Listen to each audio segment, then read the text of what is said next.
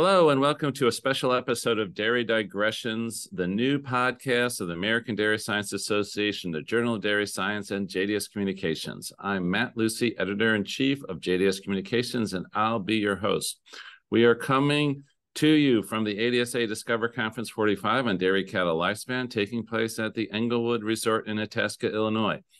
ADSA Discover conferences bring together the top minds in the dairy industry. For these for these special episodes, I will be sitting down with the experts who are attend well, who are attending or hope to attend the meeting uh, um, to get their thoughts on exciting new developments for dairy. If you enjoy Dairy Digressions or have any feedback for us, please let us know at adsa at adsa.org. And make sure to like, subscribe, and rate us on whatever platform you're listening to. And spread the word to a friend or colleague, especially in the great country of Canada, right? We, yeah, go Canada. And now let's get into the meeting today. We have a very nice person, a brilliant geneticist, Christine Baes from ooh, University of Guelph. Is that what you would say? University of mm-hmm. Guelph. I'm not. I don't even know what department you in. Department of Dairy Science, Christine. I'm the the chair actually of the Department of Animal Biosciences. Okay, Animal Biosciences. Is that is that where? Okay, Stephen LeBlanc was with us. Are you in there with Steve? Are you Stephen's boss now? No, Stephen is across the road. He's in the veterinary college, and I'm in oh. the agricultural college. So oh, Oh, okay. There's this happy rivalry going on there, but oh. it's good because it challenges us all to be better. we we've had rivalries before on dairy digressions. Okay, the last one was between the Belgians and the Dutch, or the Belgians and the Netherlands. I guess I had someone from Wageningen, and they were talking, and the the people from the Belgium were, hey, you know, you forgot about us here. Okay, so we'll keep the rivalry going. I forgot to mention you are a professor and department chair. I think that's a new job for you um, in uh, uh, in the Canada Research Chair in Livestock Genomics. Fair enough. Yeah, that's hundred percent. So the um, so first of all, thank you for agreeing to talk to me. Uh, Christine and I got to know because we are on the committee that organized this Discover conference on dairy longevity, and we're going to talk a little bit about longevity in a, in a little bit. But I want to talk a little bit about just sort of um, um, kind of your your history here and um, so i thought you were you know i saw where you were you went to graduate school in germany so i'm thinking you're german but you're not german you're canadian. I'm canadian my parents are belgian actually so i understand that rivalry between the dutch oh. and belgians. So you you were you born in canada or born somewhere else? I was born in stratford ontario about an hour west of guelph I know Stratford, but I don't know why I know Stratford. Is there something special in Stratford? There's a beautiful theater, a Shakespearean theater. It's called Stratford upon the Avon, and there's a, a theater there. That might be it. Justin Bieber is from Stratford. Oh, that's it. I knew, fan. I knew it was something like that, right? So the, uh, so how did, so your parents dairy farmers, or how did you get interested in dairy? My parents were dairy farmers. I was, I was born on a dairy farm. I milked a lot of cows. I stacked a lot of hay, drove a lot of tractors. Um, I had a pet cow named Mitzi um, oh. who I could ride. My sister got a pony, so it was a bit unfair. But uh, yeah, I, I grew up on a dairy farm. We don't have it anymore. We have the land from it, but we sold the cows and the and the quota a number of years ago. Yeah, so that is so you have a strong dairy roots then. Absolutely. And you went you went to the University of Guelph and what majored in mathematics or something like that or what? No, animal animal science, but I did a lot of uh, exchange programs. So I spent uh, nine months in in Moscow and another year in Germany before completing my all during my undergraduate degree. So I was in nine Guelph, months. not really.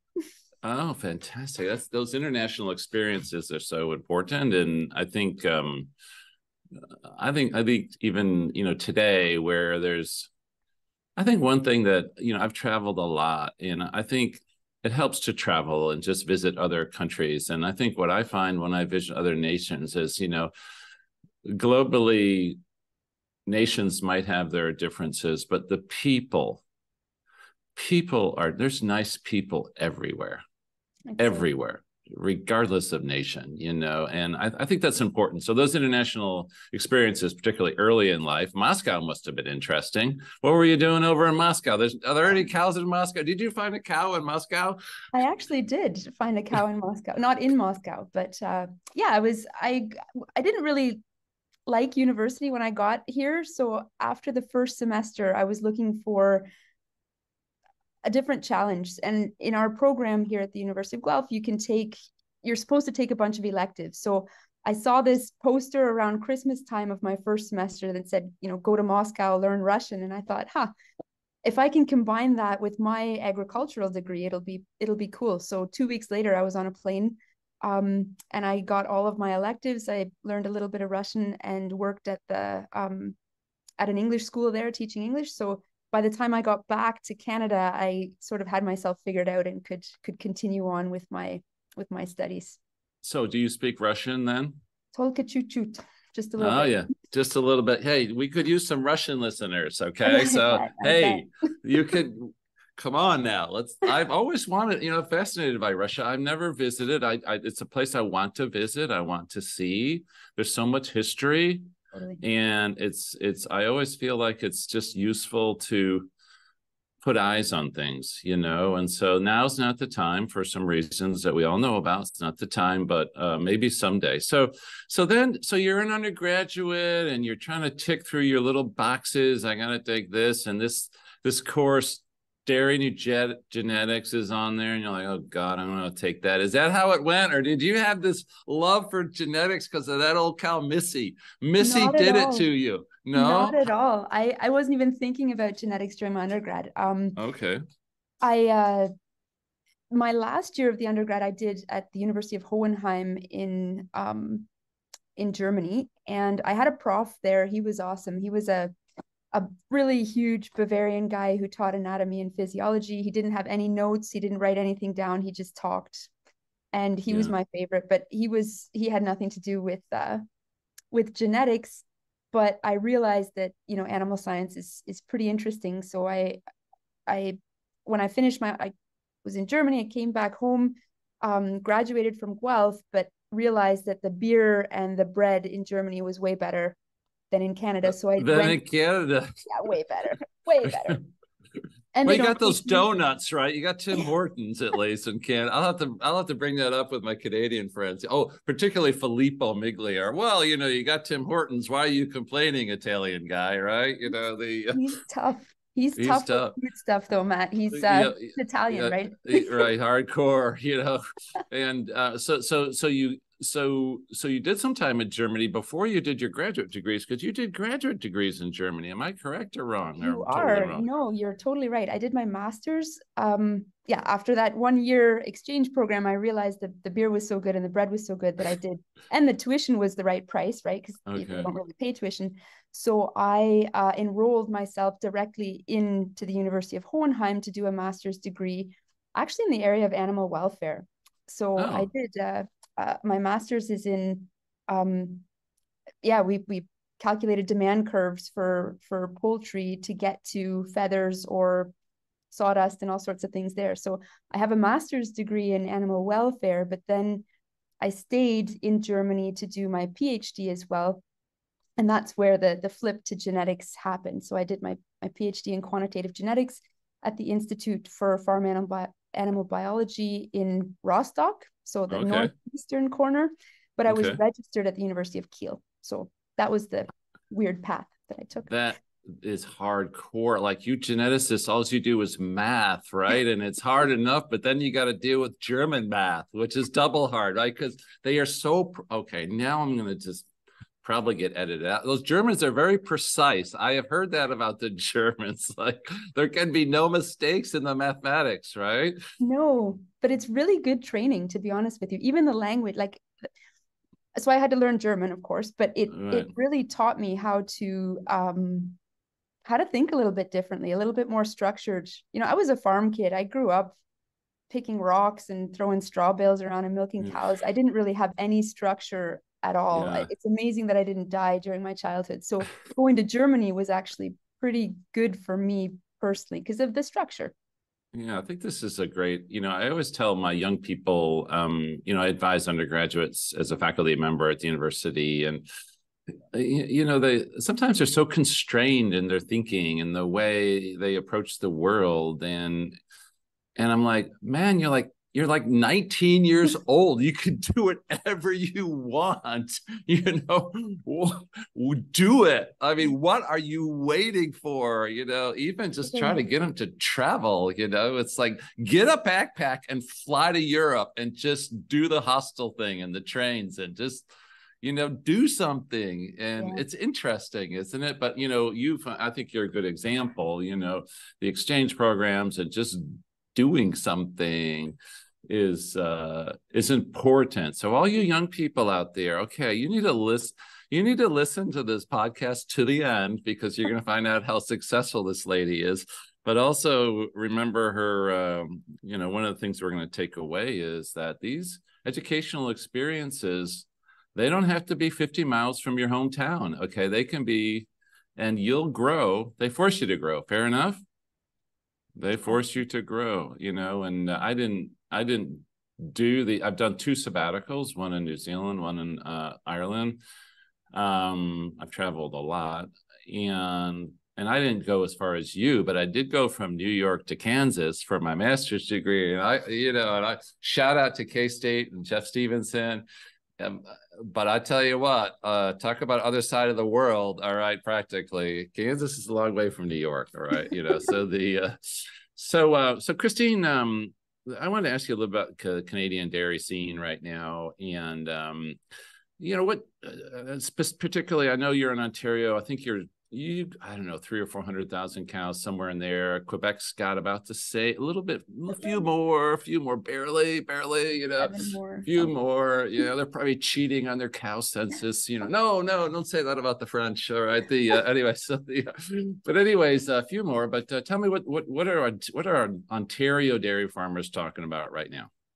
Um i think the uh the industry is talking a lot about solids non-fat so how to how to deal with that just because um, the payment schedules in in Canada are of course based on on butter fat, but there's a lot of other solids that that people are sort of working on trying to deal with. We haven't gotten to the point of um, the expertise that New Zealand has, for example, in boiling down their milk to uh, to just powder is is not right. something that we're quite as interested in. Mm-hmm. But uh, producers are talking a lot about that. Producers are talking about sustainability. Um, mm-hmm. They're they're talking about um, the interest rates, which are higher than they have been in the last 20 years. Which mm-hmm. I mean, in Canada, we've got our supply management system, which which helps with that quite a bit. But still, land prices are are higher than they've ever been. Um, yeah, there's there's a lot of different things, uh, a lot of different things going on concern your your farmers and of course for those that are not familiar um, the Canadian dairy industry is uh, due to the pricing structure is different from the American dairies. Uh, smaller farms. I mean, you you ask, you know, I think if you step on a farm in Canada, you'll find you'll still find a lot of tie stalls, particularly depending on where you're from, right? Yeah. And um, you'll seventy percent. What's that? Excuse me. Seventy percent, which is Se- which is a large number relative to the United States, and then you'll also find uh, the farms are not that large, maybe I don't know, typical. I don't know what the median is. I don't know, 110, some sort. Something like that. yeah, so there there are different kind of farm. It's a it's a uh, as I've said in this podcast, it's a wonderful place to visit. It's a wonderful place to speak. You talk. You, I, I think because it's just a different style of farming, and I have nothing against American farming, but a five thousand cow dry lot dairy in Idaho is a different beast than a 100 cow dairy, stall dairy in Ontario. Okay. The different sort of world, you know, right or wrong, that's it, but it's fine, right? We can have all sorts of things. Okay. You know, everything is good. Anything that consumers are concerned about, do you feel like consumers in Canada trust their milk supply? I think they still do. Um, but we have to be uh, really cognizant of the fact that you know there's a, there's a whole new generation coming through people are a lot more critical of where their food is coming from mm. not only in mm. terms of you know the environmental impacts but also in terms of um, their health Um, there's a lot of allergies and that sort of thing that that are coming up, and and people generally are kind of critical about the ethics of raising animals and using animal products and that whole that whole discussion i think is is similar in the us uh, in europe and and in canada as well but we still have a pretty big um, animal agricultural industry and we do have a pretty big dairy industry compared to the other industries so yeah there's there's some shifting things going on going on there I think it's interesting. I was reading um, an article by Daryl Nydam, who we talked to yesterday, and it was just about people often forget that the contribution that dairy products make to the human diet. In, in the United States, it's probably about 10% of the uh, human diet is, is can be linked to dairy. And uh, Daryl wrote a really interesting article about, okay, well, let's just take this away. Let's see what we got. And, and you know, it's, it's not, do we really even have the foodstuffs in the uh, in the in the markets to replace the role that dairy plays in human nutrition. And he he brought up things specific things you know and i thought that was kind of interesting you know well you, you know if we don't have a dairy cow um what would you have to eat right? It's an interesting question. Milk almonds. Yeah right. Yeah yeah. And so the um so that's a big conversation. I'm sure it's a conversation you know milk alternatives and then um it's it's just a really um um, um, interesting comments about about the role that dairy plays, and maybe we just don't tell the story well enough, you know, about it, what it what it plays. You know, I, I think it's um, um, it's just um, maybe we just don't tell the story the way we need to tell it. I don't know. You know, we're I don't I don't know what that is, but um, I I always like the fact that when I teach dairy, you, you probably appreciate this, Christine. You know, I hold up a jug of milk and I just basically read the ingredient label, and it's basically it's milk and vitamin D. I don't know if you add vitamin D in Canada, but we add vitamin D in in America. It's, there's not a lot to it, right? It's not a lot to it. You know, there's not a lot of stuff there. So I want to ask you about this res- resilient dairy genome product, uh, project, okay? Because this is a massive project. I think you're leading the project, or are you the leader? I'm the I'm the leader, but I have some co-leads. Um, you have some co-leads, and I, I we're going to give them a little shout out here. Okay, I uh Ronaldo Cerri, right? Yep. Out at UBC, good Florida guy. Okay, let's shout out to University of Florida. Go right, Ronaldo, Marc Andre Sirard, Marc Andre Sirard, Laval. Yeah. You know, so he's your well, you got two repro guys already. Is this all about repro? I mean, aren't those two guys repro? He's and Marc Andre is actually covering like the high risk, high reward part, which is the epigenomics, which we haven't figured out how to apply yet, but he's he's got that section covered. He's got that. And what is Ronaldo doing for you on this project? Ronaldo is uh, helping us develop new fertility traits. So he's okay reproductive physiologist, of course, and, and we're looking at how to use some of these automated sensor, um, some of this information coming in from automated sensors mm-hmm. into uh, a, you know, a routine breeding value estimation that's a little bit more objective than whether the breeder thinks that the cow is in heat or what he decides or she decides is the voluntary waiting period, et cetera, et cetera. We're trying to get closer to the biology of the cow and Ronaldo is is really weaving this um, into his research program, which mm-hmm. is really nice because we can both learn a lot from each other. I think, even though he's a vet, I guess, right? well, he um so then um he may be a vet, but I know he goes. I think he has PhD from Florida. I know he was at Florida, right? I'm sure he's at Florida. The uh, but so uh, and both of those guys are are brilliant. So you've selected excellent team members. Congratulations.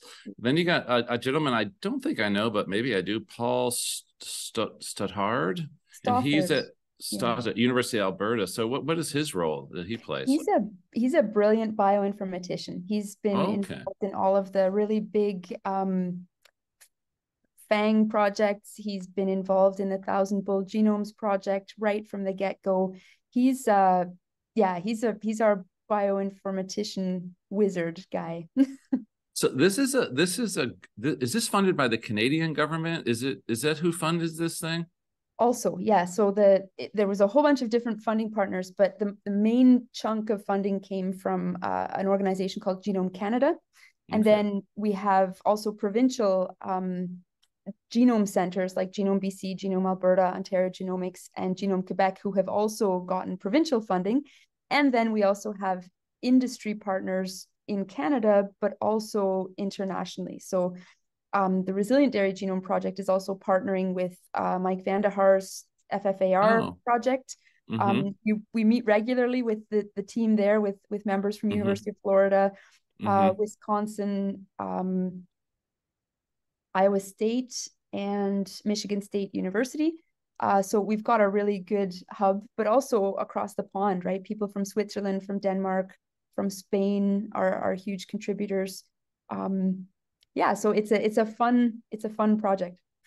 You mentioned in your uh, on your website there's 30 co-investigators and over 35 co-invest 30 co-investigators, collaborators, and users, and over 35 international partner organizations. So this is a uh, this is a massive uh, effort. And I, I was just thinking, we don't give many shout outs. So you, you mentioned AI cooperatives in Canada. Is Semex okay? Now this is a digression, but is Semex still the major? They're the they're they're still the major AI cooperative in Canada. Am I correct? Barely, barely. According to market share, they're they're about fifty percent now. I think. Oh.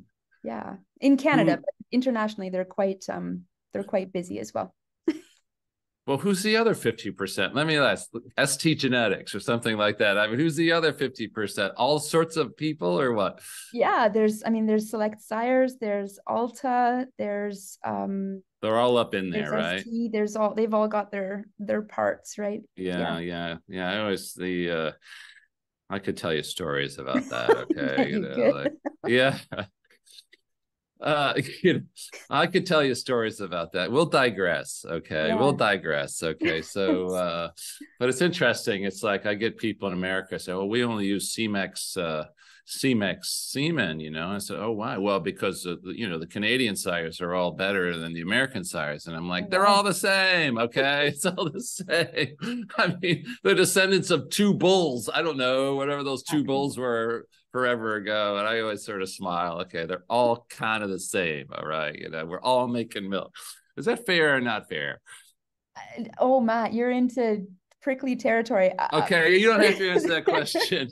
These are funder. All right, you're right. I agree, Christine. We do find those Semex bulls are way better. All right. I don't know if kidding. they're better. I don't know if they're better. I'm just saying that everybody, it's you know a little bit of healthy competition is is pretty good and to be like honest it, with yeah. you in canada we're we're happy to have semex still because they they're technically producer owned right so they're yeah. technically a cooperative yeah. well semex maybe not but ciaq and westgen and eastgen the ones who sort of own semex they're the, the ones who are having the technicians on the ground so they're like there's this idea of homegrownness i guess a bit and and we don't have much of that in canada so we're we're happy about that. No, I I tell you, I I talk about Semex, and the reason I know Semex very well is I was out in the Fraser Valley giving some talks, and uh, I got to know some Semex guys, and they were just the the nicest people, lovely people. Spent time with me, showed me all these beautiful herds out in the Fraser Valley. Not that you don't have beautiful herds in Ontario, but they got some nice herds, and nice. spent a lot of time. It was a wonderful thing, and they were we were talking and there's oh we got these robot ready sires. And what's a robot? You know i was just learning so much from those guys. So they were super. So we got into we we went into this project without even defining what in the world resilience is. I mean the resilient dairy cow. Oh come on christine. Give it give me the elevator presentation. Oh, uh wow. resilient dairy cow okay? Because yeah. around here we're okay we're at this this discover conference whoa nobody agrees on anything let alone what resilience is. So why don't you why don't you just clarify so i can walk into this conference and say uh, i just talked to christine and let me tell you what resilience is all right? Yeah so we're trying to get um, we're looking at re- defining resiliency as uh, an animal that is able to still produce still be fertile still live a long and healthy life but also um, maintaining her fertility and uh, not getting ill, delivering a calf, being productive, but reducing her environmental footprint by reducing the amount of emission, emissions that she gives off and also improving her feed efficiency. So right. in German, there was a term that the egg laying wool milk sow, which is like everything all encompassed into oh, one. Oh, okay. Yes. And that's what we're looking at for our um, for our resilient cows. They I know that the Dutch have have thought about, you know, an animal that's able to come back from perturbations Mm-hmm. Uh, but in our case, we're we're really trying to have um, an animal that's that's resilient for for the future that's coming uh, for us. So I, I have a question about this because um, they they've been talking a lot about they've been kind of talking about resilience, longevity, that sort of thing. Now, is is so you're a geneticist and and you're a geneticist and i know that there's some genetics or there's genetics organizations involved in this. So for this resilient dairy okay the word genomes in the project. So as i assume the focus is on genetics to achieve this end. Is that correct? Not on new mastitis treatments or new treatments to achieve this end. We're we're really trying to uh to get out of this geneticist only world so okay. we've come to the realization, I think that I can speak for everybody, that we do have to work together. It's a pretty complicated um, industry and it's a pretty complicated a, a, cow is a pretty complicated animal. So the Resilient yeah. Dairy Genome Project is really focusing. There's a bunch of different activities. The first three are kind of like the the fuel tank of the project. Uh, they're mm. looking at look. So Ronaldo, you mentioned he's leading activity one, which is focused on fertility. Then we have a an activity that's focused on health, um, mm. particularly in calves.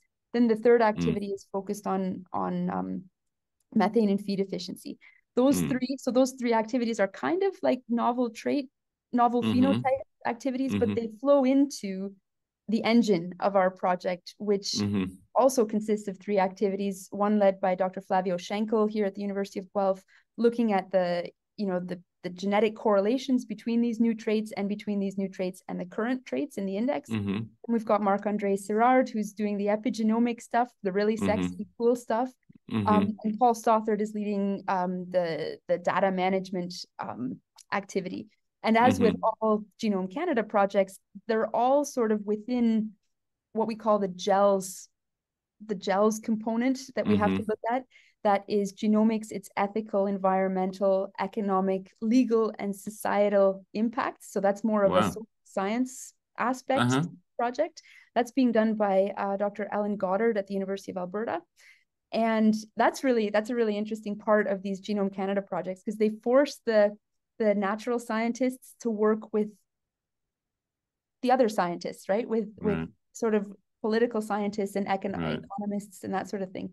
And then the final um, the final activity in this project is is really translation and implementation because we can do the coolest work in the world, but if it doesn't get to the farmers, it's not uh, it's not useful. So we've been really successful. Uh, we've we followed Filippo's path with his mm. efficient mm. dairy genome project, which was focused mm-hmm. just on methane emission and feed efficiency. We've brought that on. We've included these additional new traits in fertility and health while mm-hmm. maintaining the the increase in in our database of of methane and feed efficiency evaluation. So part of it is new traits, part of it is methodologies, and of course the the biggest part of it is really how to get this up and running and and we did that. So the, the right. methane evaluations, the national evaluation was published in April of this year. We're, we're mm-hmm. super proud, super happy about that.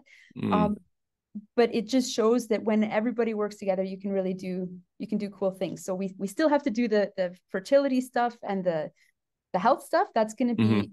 into that's going to come into a resiliency index mm-hmm. um, that will hopefully be delivered by lactanet in the coming years. But we've we've got an extension thanks to covid and all that. So we'll be working on this till 2025 probably Oh, fantastic. Okay. And then you had after that you got five years to carbon net zero. So you can do it, right? That's how easy peasy. No problem. The, I don't know if it's 2030 in Canada or 2050 in Canada for dairy net zero, but it doesn't matter. The Americans are gonna if you say 2050, we're gonna say 2049. So we can say we did it first. That's how the Americans are. Okay. So I'm just gonna tell everybody it's like we're going for carbon net zero in America in 2049. Okay, because you know you. we can't we can't beat you in hockey, but you know whatever we could try to beat you in carbon net zero. That would be a health. Would totally, that would be a healthy competition, wouldn't it? Who's going to get to carbon net zero first? Okay. And, Oh, and uh, that'd be fun, right? That would be awesome. I mean, I, you know, it's interesting at this, at this, uh, at this conference, um, that we're here, that it's really come down to questions about, you know, when we talk about longevity, there's a lot of discussion about obviously climate, Yeah. less discussion about the environment, which is interesting. And I, I know everybody wants to talk about GHGs, right? And I don't know enough of, I, I know what they are, but but then you know there's less discussion about the environment. In other words pollution like and the, the europeans talk a lot about nitrogen or nitrates or whatever pollution. Does your do you guys talk about pollution is do you know what i'm saying? The pollution Like in the Water waterways and that's yeah and what is that part of your thing or are you just focusing on um, methane and greenhouse gas emissions? Right now we're focusing on methane and greenhouse gas emissions but there are Okay. a number of of course at, as every university right? There's people who Mm. work on soils and and microbiomes of soils and waterways Mhm. et cetera et cetera. And i think that's going to be the key moving forward is that we we we stop siloing again. We we start to work together because you might have one group looking at the toenail of the elephant someone else is looking at the kneecap and someone else is looking at the tail and until you put it all together you don't know what you're you don't know what you're doing really. So you hope by at least by 2025 for example did you say 2025 i said 20 i didn't say anything but it's 2050 for canada. No no but the 2050. how long does this funding go? Till Ah. 2025 our this the current Re- resilient dairy genome project will run till 2025 um, but we're really excited that we genome canada has announced uh, the sort of winners of a new competition. Oh. And that um, that we actually have been funded there as well. So we have our resilient dairy genome project, but we've got the third and final sort of capstone project. oh fantastic We're ramping it up right now, but we hope to have um, with that new project, we're hoping to have an integration of the genetic knowledge that we've gained in the past Mhm. two projects, as well as incorporating and weaving in